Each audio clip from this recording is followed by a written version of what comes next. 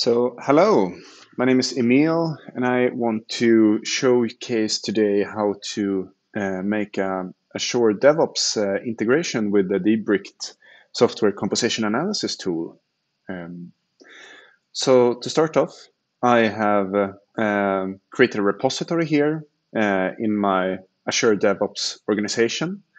Um, it has uh, very few files, but the files we need to uh, that actually install some dependencies.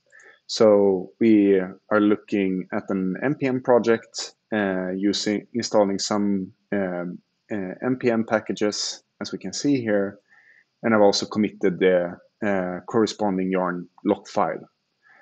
Um, so to make the integration, we first go to pipelines, and then I can create a new pipeline. Um, so if I choose here to create one of these Git pipelines, um, I can just pick any template here and override this pipeline with our own uh, integration, uh, which you can find uh, in the Debricked documentation. So if you go to uh, debricked.portal.debricked.com, which is our community uh, driven uh, forum, and our documentation is also here. You can go to documentation and we can search for Azure DevOps and find the suggestion right here um, where you can read through how we integrate with the Azure DevOps pipelines and their YAML files. Um, but the main thing is that we have a default template and some special templates for different languages to get higher accuracy in our builds. Um, but this is getting deprecated soon, or there will only be one single template. Uh, but for npm, we can go ahead and use the default template. Uh, so this takes us to our uh, Debricked GitHub uh, repository with containing all the templates. Um, and uh, here we can see that it's a pretty standard um, Azure pipelines uh, job here. So I copy this and I uh, connect it here, uh, paste it in here. And then it's important that we, uh, to scan this, we actually need a token to make sure that the Debricked, that we're posting the scan results to the correct user and the correct login um, uh, of the Debricked service. So, uh, and here we can see the uh, that the variable is named Debricked token. So to do this, we create a new variable um, I already have created this one, but I will show you in the tool how we would like to, how we can create a new uh, token. So in the Debricked tool, you go to admin tools, and here you may you you need to uh, you need to be an admin user to create tokens, uh, and then we can go to uh, account settings here, and here we can see access tokens, and here you can generate a new token um, you want one with only API access. And uh, we name our token. And then we have generated our new access, access token. Uh, we copy this and we go into uh, our DevOps pipeline. Uh, so let's keep this token secret and, uh, and name it correctly. I already have another token, so I will name this Brick token 2 and save. And let's rename this, let's use that token as well. Um, and then I can run and save this pipeline. Uh, and I can commit this to the master branch. Uh,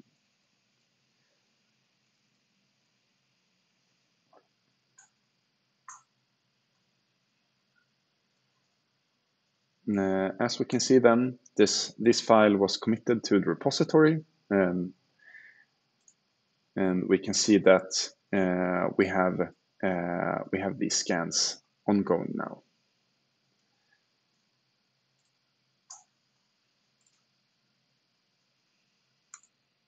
If we click into the scan, uh, we can see that the, the, different steps that are performed.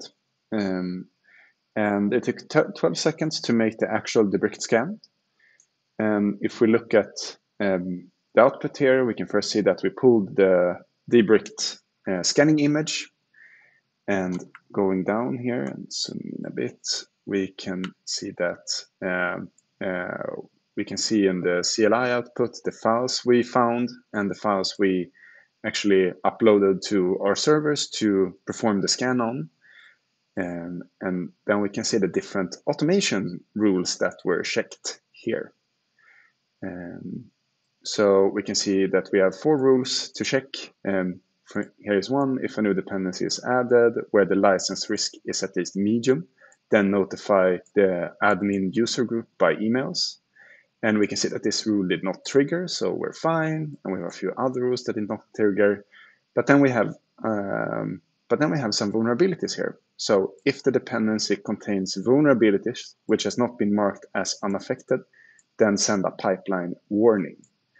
Uh, and this rule was triggered, uh, and we can see uh, all the different CVEs, um, the CVSS scores, which uh, dependency actually imported this, uh, has this vulnerability, as well as the license. Um, but uh, we're interested in all these different vulnerabilities here. Um, and as you see, you get a link to the tool for both the uh, dependency, uh, to view the dependency and all vulnerabilities in this dependency in this repository, as well as this, uh, this particular CVE uh, here as well. Um,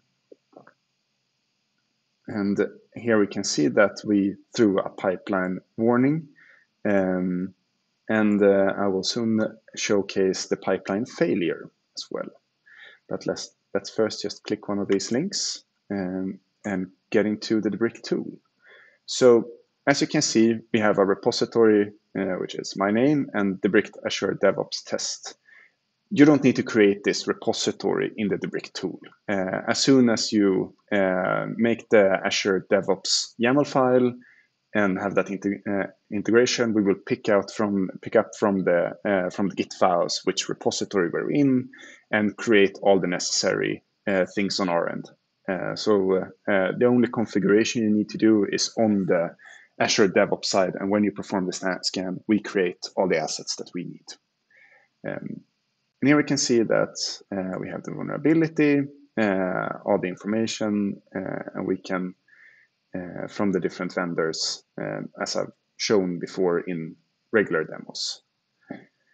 Um, let's uh, go into, we can see here that we have this rule that triggered, and we can actually add the, go to exactly this rule from this pipeline.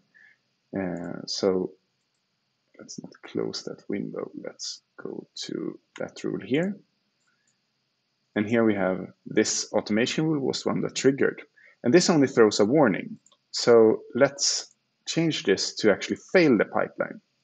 And then we generate the rule and we make sure that we save it as well. Uh, so now we can see that this has a failing, this rule will fail the pipeline.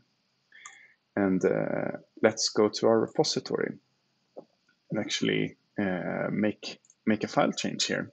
Uh, so let's edit this file and just add a couple of uh, blank spaces here and commit it to the main branch.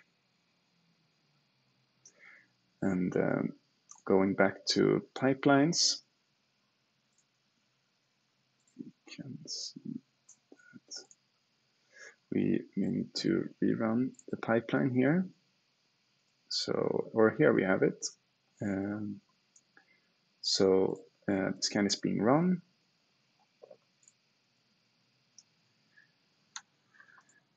So let's um, let's wait for the scan to get picked up.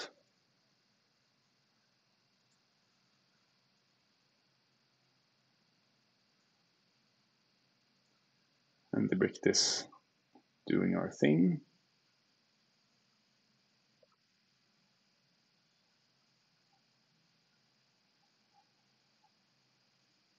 And we can see that we scanned these files in about uh, 11 seconds. And now uh, we have the failing indication instead, seeing that we with the Brict automations and policies are in control of this, and um, that this automation rule triggered with a failing output. Um, yeah, so that is uh, the showcase of uh, uh, the Brict software composition analysis tool um, within Azure DevOps. good luck in your open source journey, and thank you for listening to, to me for a couple of minutes. Goodbye.